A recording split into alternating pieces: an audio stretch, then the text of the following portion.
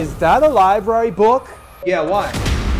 Haven't you been watching the news lately? It's got coronavirus all over it. Here, I'll take care of that for you.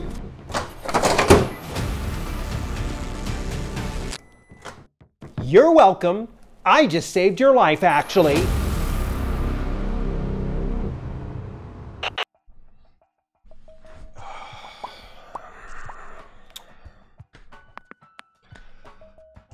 The world has lost its freaking mind, and you know that it's lost its mind when you're seeing people microwaving their library books to kill the coronavirus. And it's pretty bad when CNN, a reputable news source, releases a piece that's a public service announcement that states specifically stop microwaving your books to get rid of the coronavirus. Now, don't be confused. This isn't like that rejected uh, project over on Shark Tank called Rocketbook, which, you know, ended up, you know, taking off pretty well, no pun intended, with Rocketbook. The microwave safe notebook?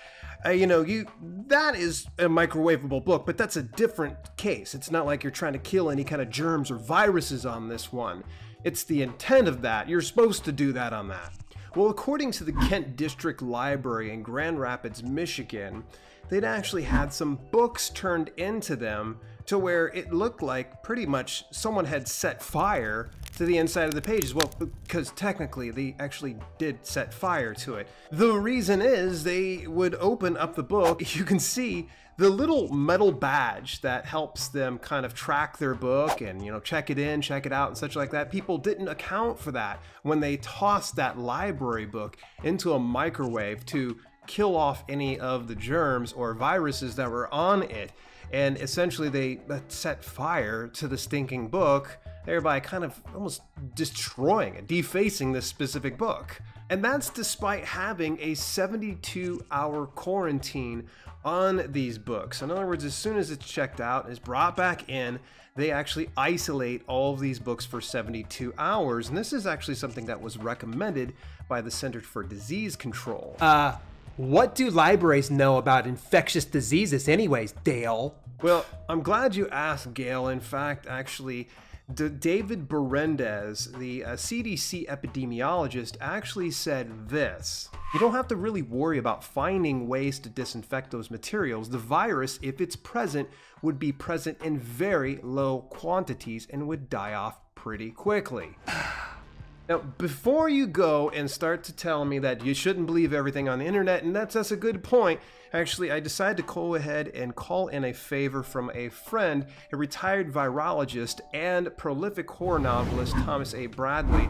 And Thomas has actually been a long-time supporter of this channel, and I knew for a while that actually he was a lifelong virologist, and he was chomping at the bit to share just a little bit of information, so I've got him on speed dial here, Gail. So, Thomas, should we be microwaving our books to kill the coronavirus? Um, no. There's really no reason for that. I understand that people are concerned and very nervous um, about, especially infecting the elderly if they trans. But there's no reason to microwave a book. Uh, hello, Mr. Virologist. Um, what if I use Lysol on the books? Oh, absolutely not. First of all, you're going to make the ink bleed. And if these are library books, as what's been being reported in the news lately, uh, they're not going to be very happy that you, you have to wear bifocals to try to put the letters back together again. If you're really, really, really scared about the virus, it would be okay maybe to take a 10% bleach solution on a rag and just wipe the outside cover.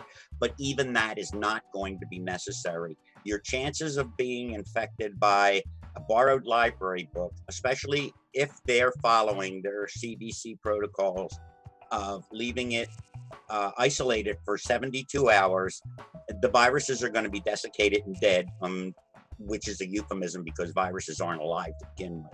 Um, no, there's there's no real reason to do that. What if I use my my mask and my goggles and some of my gloves? Will that work? Again, no. Um, unless you're reading a scratch and sniff book and you're going to put your face right in it, not necessary. What are the chances of getting infected by the coronavirus from a book? Without trying to get too technical, these viruses are what they call an envelope virus, which means it divides its outer shell from our cell membranes. They dry out very easily.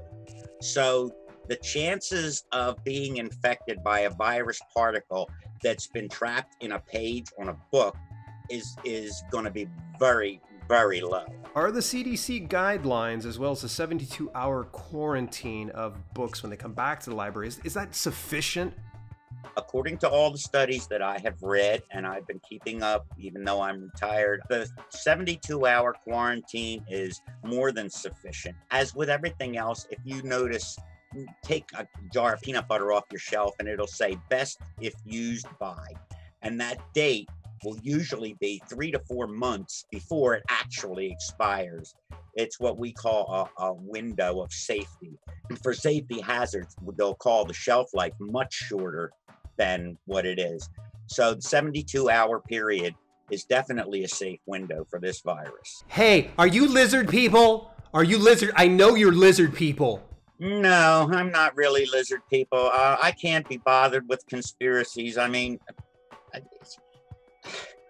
if I if I listen to everybody's theories, uh, uh, I, I, could spend months on Facebook arguing with so many different people. It, it's just it's just not worth my time to chase my tail. No lizard jokes intended there.